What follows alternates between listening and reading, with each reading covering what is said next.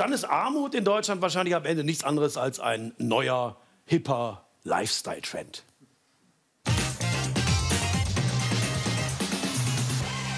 Armut in Deutschland. Ein Trend, bei dem immer mehr mitmachen. Er ist ein Mann der ersten Stunde, Michi Kasalke. Seine Familie lebt schon seit drei Generationen in Armut.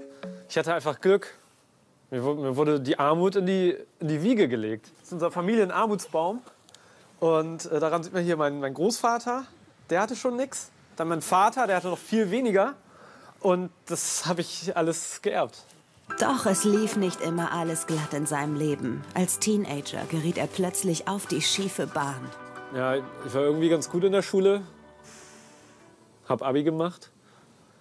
Aber hey, dank meiner Eltern habe ich dann noch die Kurve gekriegt, weil, weil die konnten mir dann mein Studium nicht bezahlen. Kasalke hatte Glück.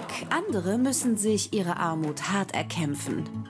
Wie haben Sie es denn geschafft, arm zu werden? Na, ich habe zwei Kinder und ich bin alleinerziehend. Also meine Armut ist damit gesichert.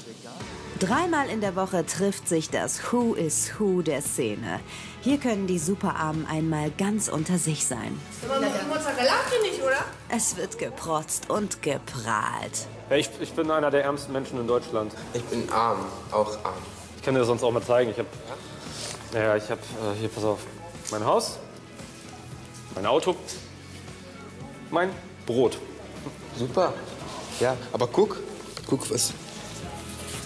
Mein, mein Haus, mein Auto, mein Boot. Michi, der ist ja noch viel ärmer als du. Mensch, Respekt, Alter. Alle Achtung. Mach dir mal eine Tüte fertig mit Äpfeln, Bananen und so. Magst du auch Kohl? Immer mehr Leute in Deutschland machen mit und werden arm. Doch andere bleiben ausgeschlossen. Sie werden mit ihrem Reichtum alleine gelassen. Ja, in Deutschland haben wir einfach keine Chancengleichheit. Hm. Einmal reich, immer reich. Ja, ich zum Beispiel bin extrem faul und total dumm. Aber ich komme aus einer reichen Familie. Toll. Die Welt der Superarmen. Für viele unerreichbar. Aber man wird ja noch mal träumen dürfen.